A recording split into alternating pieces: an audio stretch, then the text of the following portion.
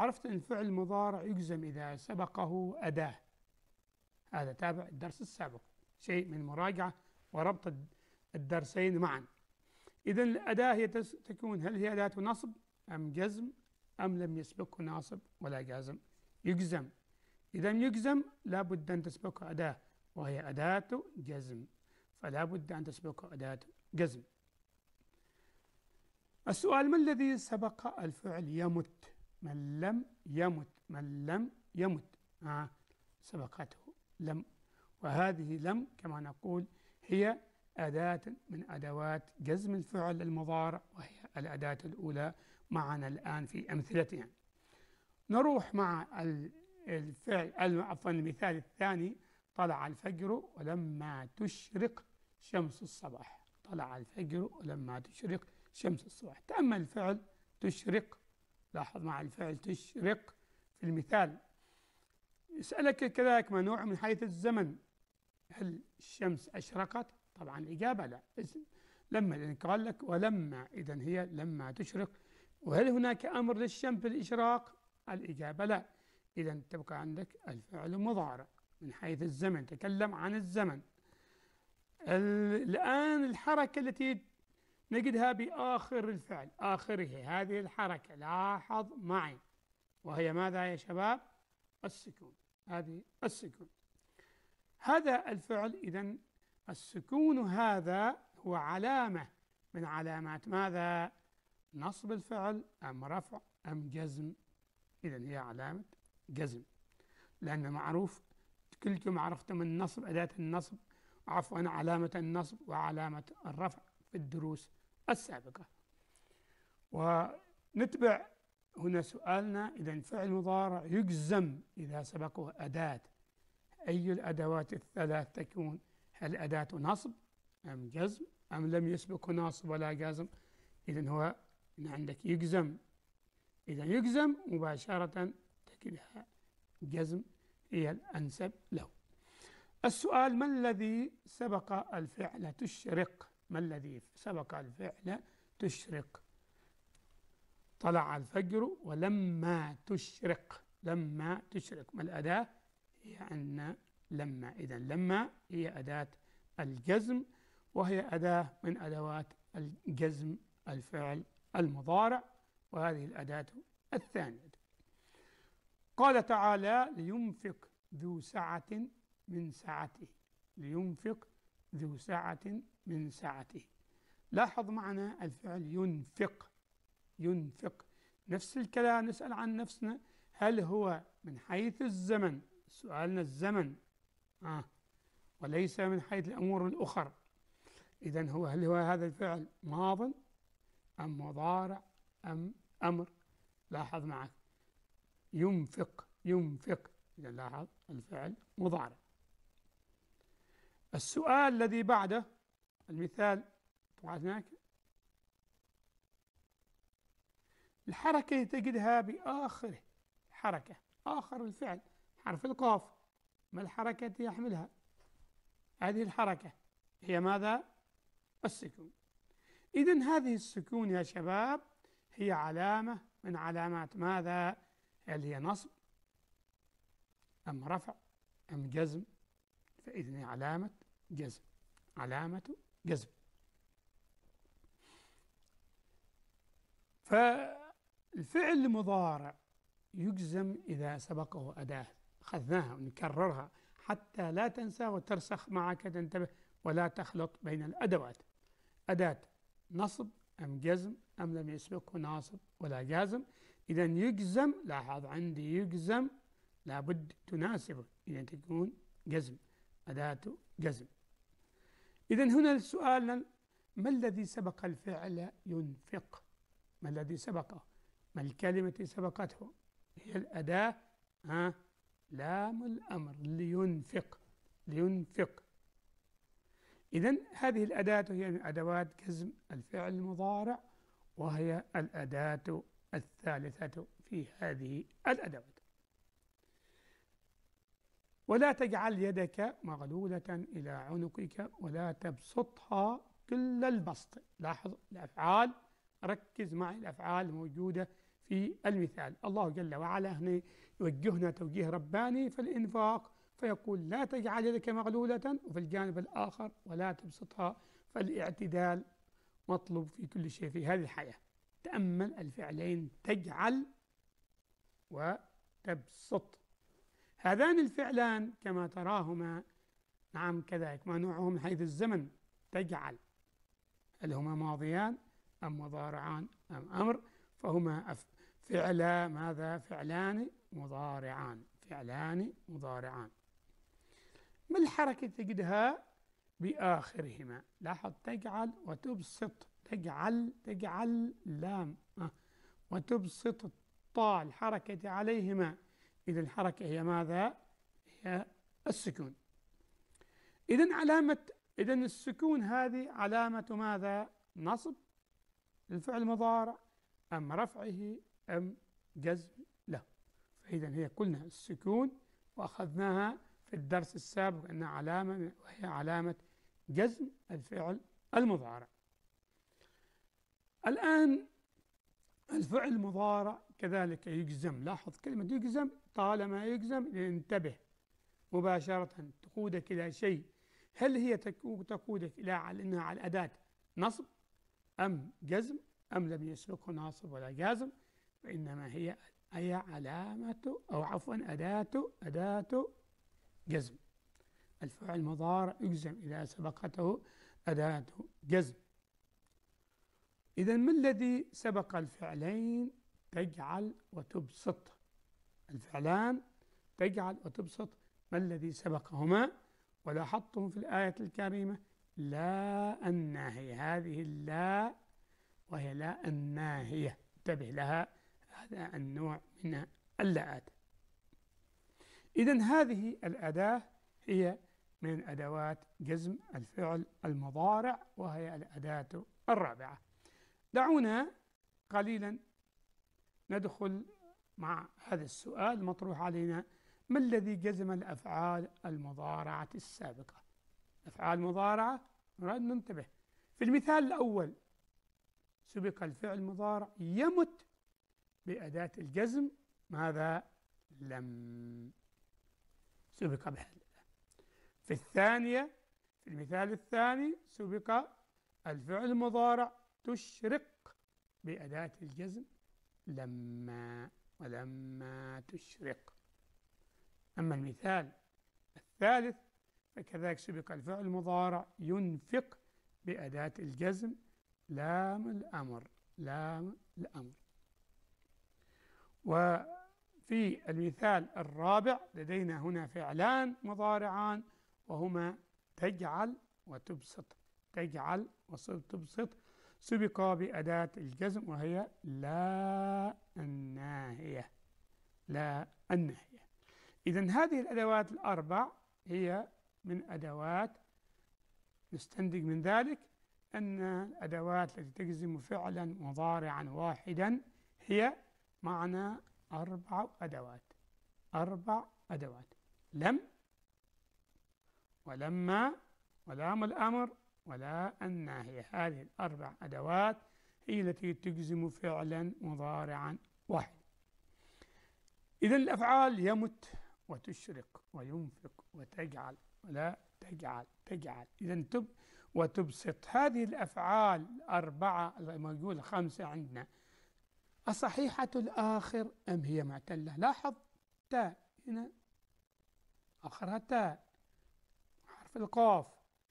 القاف هنا اللام هنا الطاء هل هذه الأفعال جاءت صحيحة الآخرة أم هي معتلة الآخر؟ هي صحيحة. كيف عرفناها؟ لأنها لم تنتهي بحرف من حروف العلة أي لم يدخل عليها أي فعل من أفعال من أي أداة من أدوات العلة المعروف الحروف الأربعة. آه هنا يحدد علامة جزم الفعل المضارع الصحيح. لاحظ الآن عندي هنا عندك ألم نشرح لك صدرك؟ ألم نشرح لك صدرك. إذا الفعل عندنا لاحظوا عندي نشرح. نشرح. والأداة التي سبقتها هي ماذا؟ لم ونوع من حيث من حيث الصحة والاعتلال. إذا هو فعل صحيح. الآخر. نتكلم عن آخر فعل. ركزوا معي شباب. أشرقت الشمس ولما يستيقظ محمد. هنا ستقول مع لدينا فعلان. نعم فعلان لكن إحنا نريد ما سبقته الأداة ننتبه شوي قليل. إذا هنا يستيقظ. يستيقظ. هذا الفعل يستيقظ. كما تراه عندك سبقته لما لما. وهو من حيث الصحة والاعتدال. وماذا صحيح الآخر. صحيح الآخر. ليذاكر المجتهد. إذا عندنا الفعل هو ماذا؟ الفعل يذاكر. يذاكر. يذاكر. والأداة التي سبقته هي لام الأمر. لام الأمر. من حيث الصحة والاعتلال هل هناك حرف علة؟ إذا ليست هناك حرف علة فإذا هو صحيح الآخر.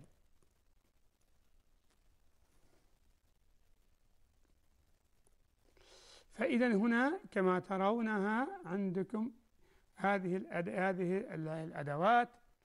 لا تكتب كلاما سيئا لا تكتب. إذا الفعل تكتب. تكتب. والأداة سبقته هي لا الناهية. وهو كما ترونه فعلا هل منتهي بحرف علة؟ طبعا الإجابة لا. فإذا هو فعل صحيح الآخر. الآخر. ولك أن تأتي بأمثلة أخرى تسيق على هذا حتى يترسخ الأمر وتفهم الموضوع إن شاء الله.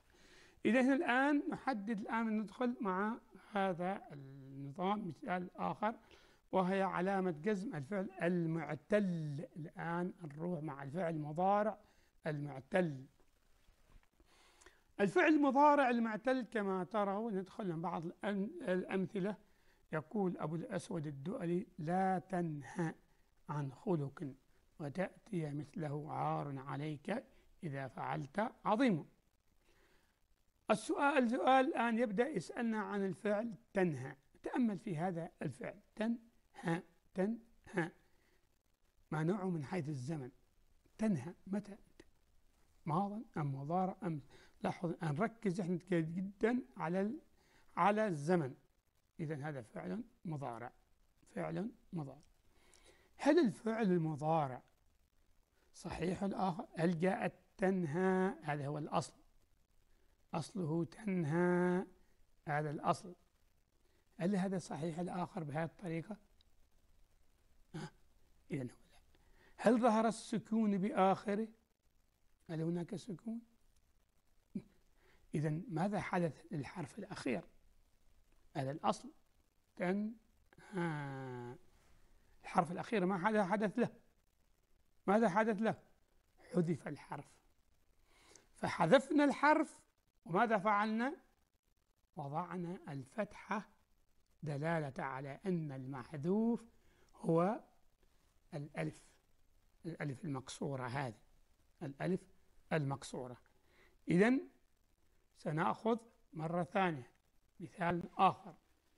من أراد التوفيق فليدعو ربه فليدعو ربه. تأمل فعل يدعو. هذا الفعل ممكن نناقشه بعدة صيغ من حيث الزمن إذا هذا معروف هنا أن أنه مضارع. لكن لو جينا نسألك من حيث الصحة والاعتلال هل هو صحيح الآخر؟ أصله هل أصله صحيح الآخر؟ بمعنى هل الفعل صحيح؟ هذا يدعو. لاحظ. هل هو صحيح الآخر؟ هذا أصله. هل هو أصل صحيح الآخر؟ طبعا لا. هل ظهر السكون؟ لم يظهر السكون إذا ماذا حدث حرف الأخير؟ وهو حرف الواو أنه حذف حرف العلة. إذا لاحظوا هنا حذفنا الحرف. من أصله كان يدعو وحولناه هذا كان أصله يدعو. فالحذف أدى إلى أنه هذا أصبح بهذه الصيغة يدعو. فوضعنا هذه الضمة الحركة الصغيرة دلالة على الواو المحذوفة. دلالة على الواو المحذوف ركز معي. اللي ما فهمها هذا أصله يدعو معتل بالواو. فحذفنا الواو وضعنا محله الضمة الصغيرة كما تراها هنا عندنا. يدعو يدعو يدعو. الآن إذا لم تحمي وطنك. فمن يحميه إذا لم تحمي وطنك. هذا الفعل تحمي سأناقشه من عدة صيغ. أولا دعنا نتأمله من حيث الزمن. هل هو ماض أم مضارع أم أمر؟ تحمي تحمي. إذا الفعل هو فعل مضارع. الآن لو جينا نسألك سؤالا آخر حول هذا الفعل. هذا الفعل تحمي هذا هو الأصل. هذا الأصل تحمي تمام؟ هل هو هذا الفعل صحيح الآخر؟ ما تقول؟ إذا الفعل ليس صحيح لا. الفعل هل ظهر السكون بآخره؟ الإجابة ماذا تقول؟ لاحظ تحمي. مي. أه. هل ظهر؟ الإجابة لا. لم يظهر السكون. إذا ماذا حدث الحرف الأخير؟ تحمي. هنا صار حذف نفس الكلام كما عملنا في المثال السابق. تحمي. هذه الياء حرف العلة حذف فأصبح تحمي. تحمي. حطينا هذه السكون دلالة على الحذف على الحرف المحذوف. بأن الحرف المحذوف هو حرف آه الياء الكسر هذه الأداة. الآن دعونا ننظر هنا عندنا سويا سيكون في الكتاب معنا الجدول في صفحة سبعة وثمانين. ارجع معنا في الصفحة السابعة والثمانين في الكتاب وهذا الكتاب كما ترى الآن عندنا في الصفحة هذا هو الجدول الموجود معنا هنا. هذا هو الجدول. آه طبعا ترى الكتاب آه شوية قام بعمل بعض الأشياء عندك ولكن إحنا شوية قليل نريدك يعني تمشي معنا بأكثر. فهنا سنواصل معك بإذن الله تعالى. آه، عرضنا هذا هذا الجدول أمامك. الصفحة السابعة والثمانين من الكتاب. الفعل المجزوم هناك عندنا. هنا عندنا أداة الجزم وهنا أصل الفعل نوع من حيث الصحة والاعتلال. إذا هناك عندك ذكرنا ثلاثة أفعال. الفعل أصله الفعل في المثال تنهى تنهى الفعل تنهى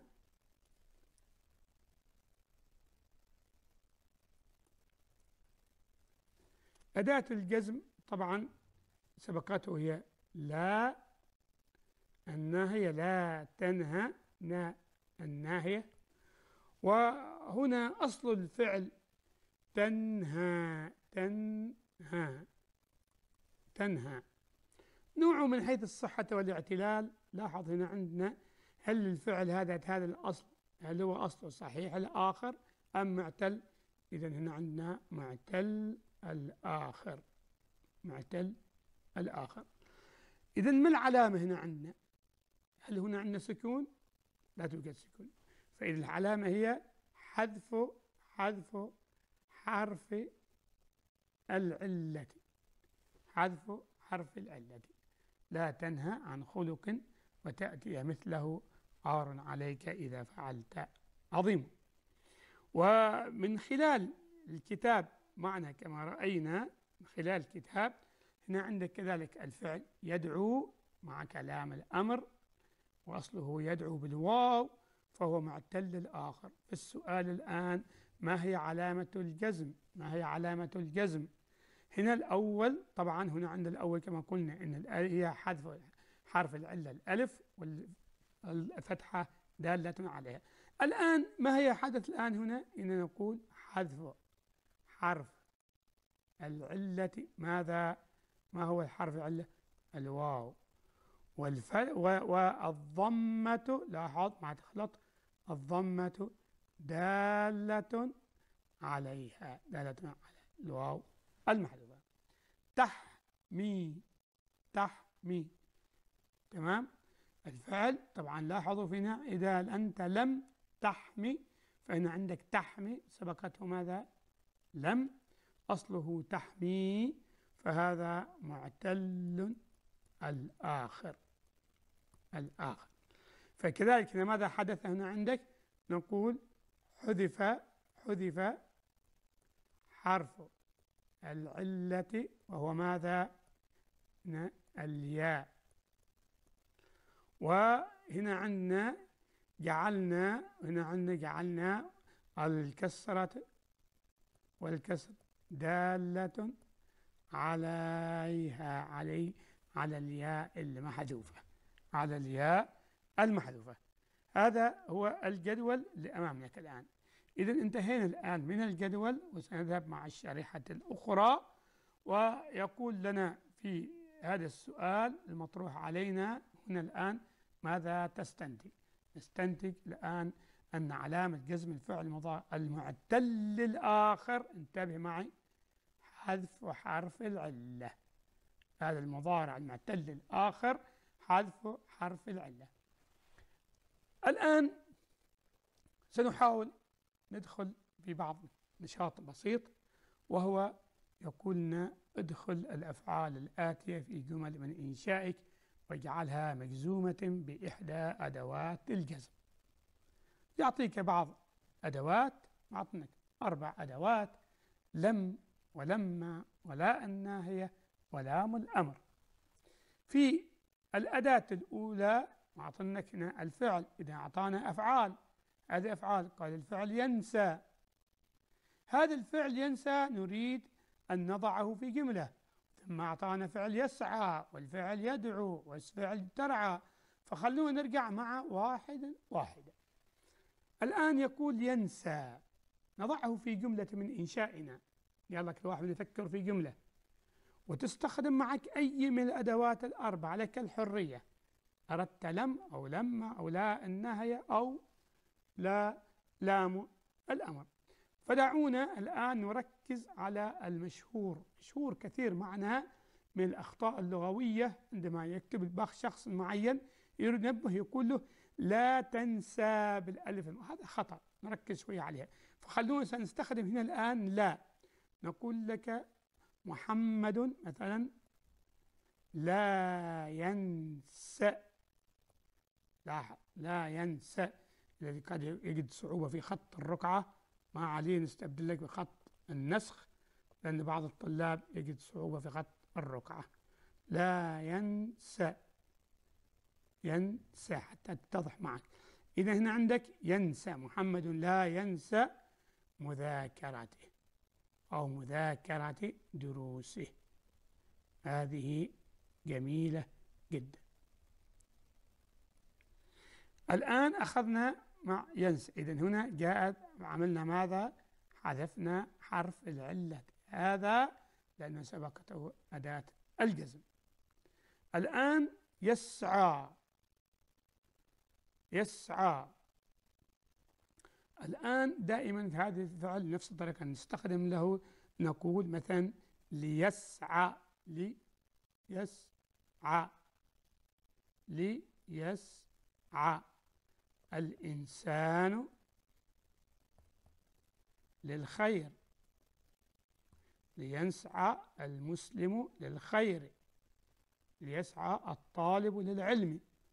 إذا لاحظ عندك حذفنا حرف العلة. بسبب دخول لام الأمر فأصبحت ليسعى ليسعى. الآن السؤال يدعو المثال لأن نحطها في مثال نستخدم معنا أداة من الأدوات الأخرى. استخدمنا لا استخدمنا يسعى لام الأمر. إذا نقول مثلا آه،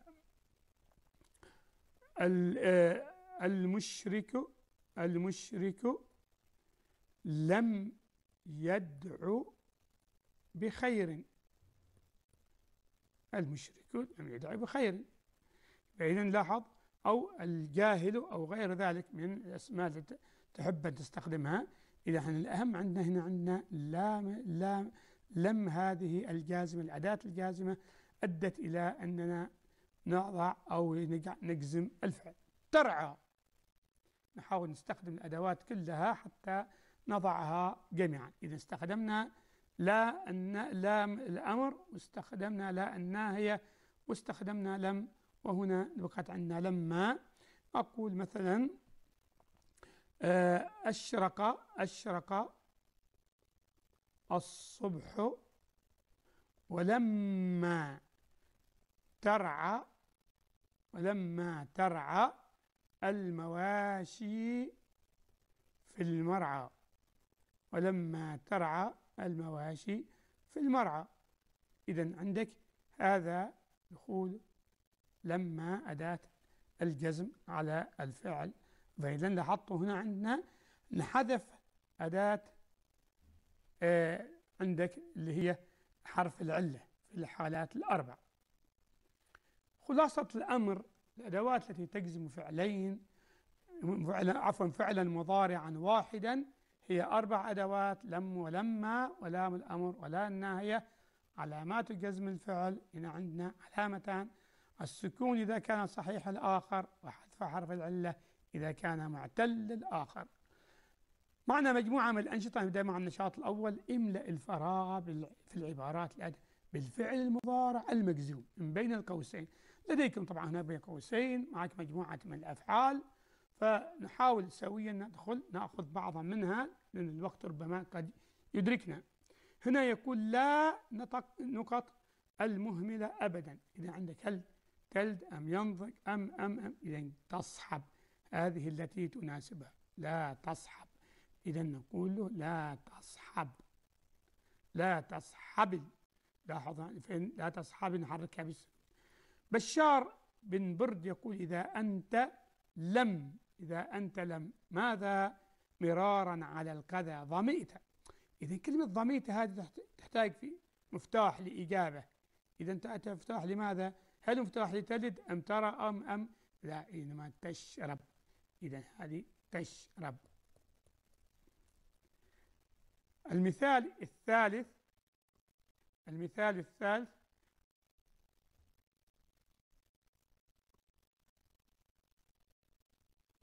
وصل الضيوف ولما نختار أي إجابة على الأفعال ولما ينضج.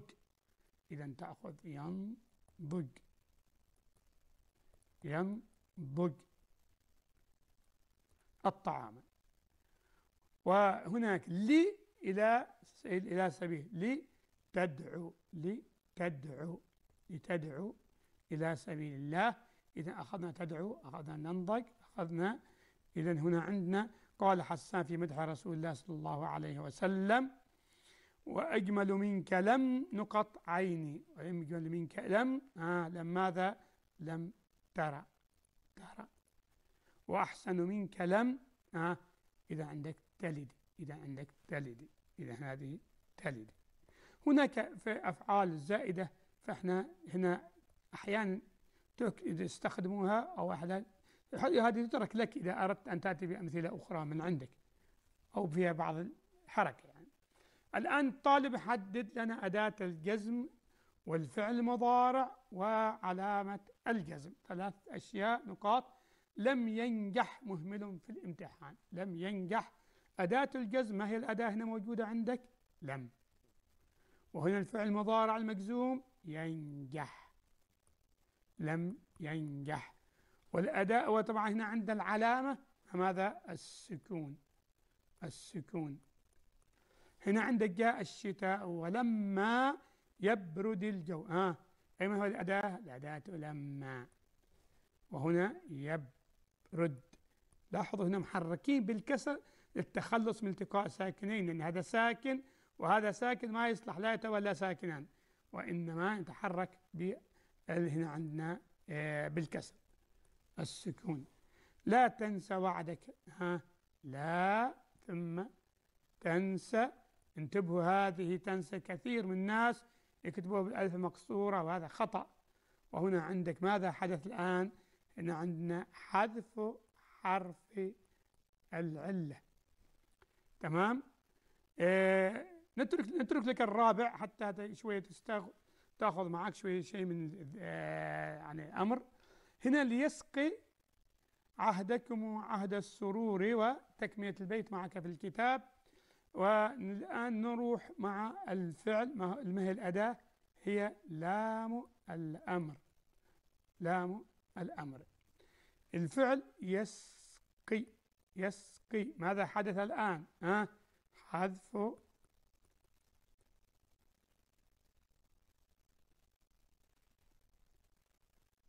فهنا عندك لاحظ عندك ليسقى عهدكم وعهد السرور.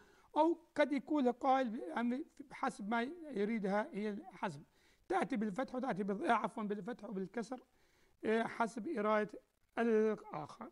إذا هنا حذف حرف العلة. ولكن طبعا هنا عندك الشاعر ربما يميل يميل إلى الفتح فيقول له على حسب هنا عندك رغدة الشاعر في الآية الكريمة ألم ترى كيف فعل ربك بأصحاب الفيل؟ كذلك نترك لك مثال. نحل معك شيء ونترك لك آخر. أعطيناك إثنان بالسكون وإثنان بحذف حرف العلة وتركنا لك مثالين لتأخذ. الآن هنا عندك نعلل سبب الخطأ. نريد أن نعلل. هنا يقول لي بدأ الاحتفاء لما يلقي الطالب لما يلقي الطالب القصيدة هل أين الفعل؟ إذا هنا يلقي يلقي لاحظوا هنا عندنا ما الصواب؟ هل هو الصواب كذا؟ لا. نقول الصواب يلقي يلقي. ما السبب؟ نقول السبب حذف حرف العلة. حذفنا حرف العلة. تمام؟ لتسعى إلى الخير. ها؟ نترك لك هذا المثال. تطبق نطبق لك واحد تأخذ واحد. بحث علي عن صديقه بين الناس ولما يجده يجده ها؟ ما تقول عنها؟ إذا هذا هذا هنا عنده صواب. يجد دو دو يحط هنا هنا صواب. هنا عنده هنا عندنا يقول له لما لما هنا عند الفعل يجده هنا كاتب لك يجد هنا فيها شوية خطأ. الصواب يجد يجد. لماذا؟ هنا عندك طبعا السب مجزوم مجزوم. طبعا كله مجزوم بالسكون لأنه هنا لم يكون بهذا يجد. لا ترمي القاذورات. هذا يشبه وين؟ يشبه الأول هذا يشبه الأول ويشبه الثاني. تمام؟ هنا يقول لا تحتقر رو لا تحتقر هذا الفعل هكذا تحتقر عندك مرفوع بالضمة. صواب هذا؟ سبقته هذه الأداة. صواب؟ نقول لا تحتقر تحتقر. السبب طبعا هو عندك طبعا مجزوم آه بلا الناهية. وهنا طبعا في الأول هنا علامة ممكن تقول له مجزوم بلما. بلما لأن هي أداة الجزم هنا عندك. طبعا هنا هذا النشاط الثالث معك في الكتاب ونحاول أن نأخذ في الإعراب. الإعراب ثمرة دائما يقول الإمام الشافعي ولا ترجو السماحة من بخيل فما في النار الظمأ.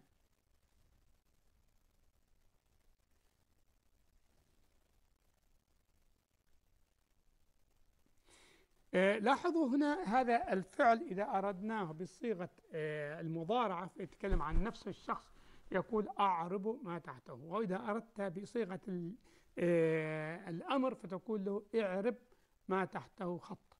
اعرب ما تحته خط. فهنا عندك إحنا إن أخذناها في هذه الصيغة فتكون اعرب بالأمر.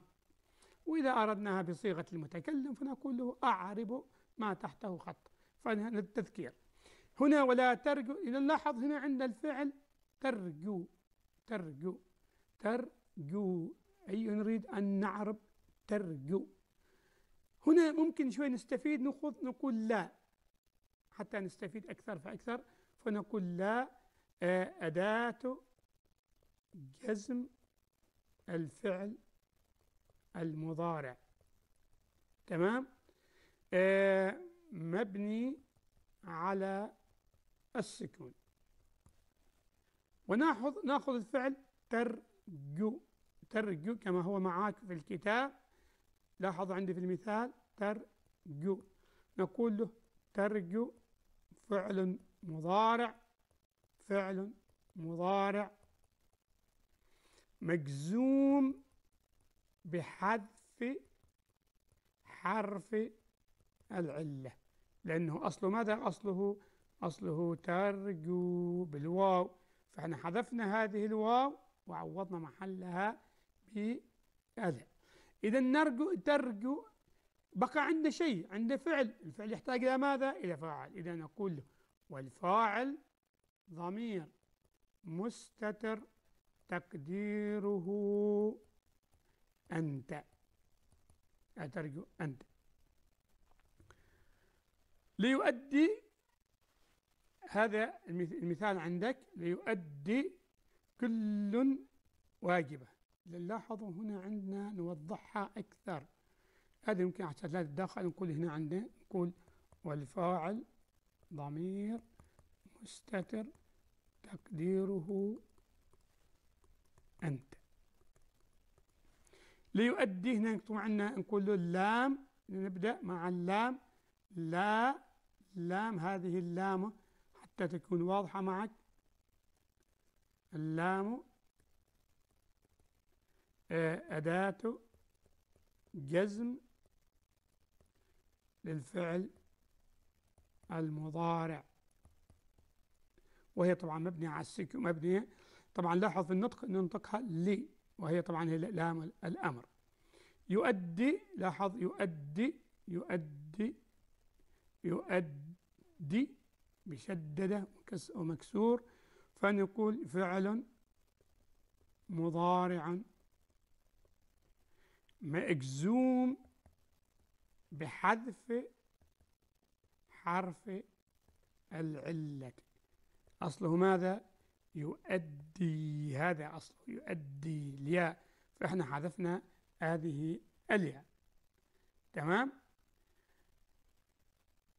مضت. نصف ساعة ولما تقلع الطائرة ولما تقلع الطائرة آه نبدأ مع لما لما هي طبعا أداة جزم الفعل المضارع.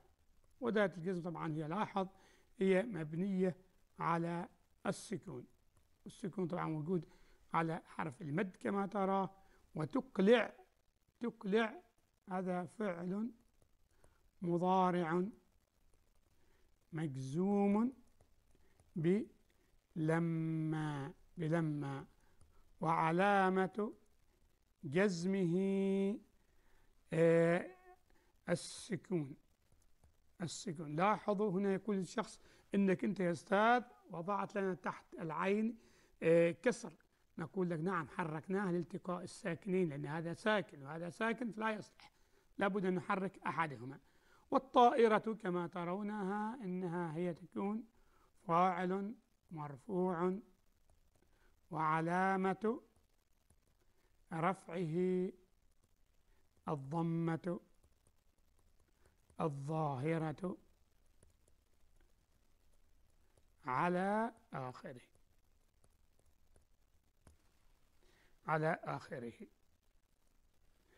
ونكون بذلك أيها الأبناء جميعا. أنهينا هذا الدرس وهذا الدرس طبعا هو من الدروس التي تهمنا جدا. إلى أن نلتقي مع درس آخر نستودعكم الله الذي لا تضيع ودائعه. والسلام عليكم ورحمة الله وبركاته.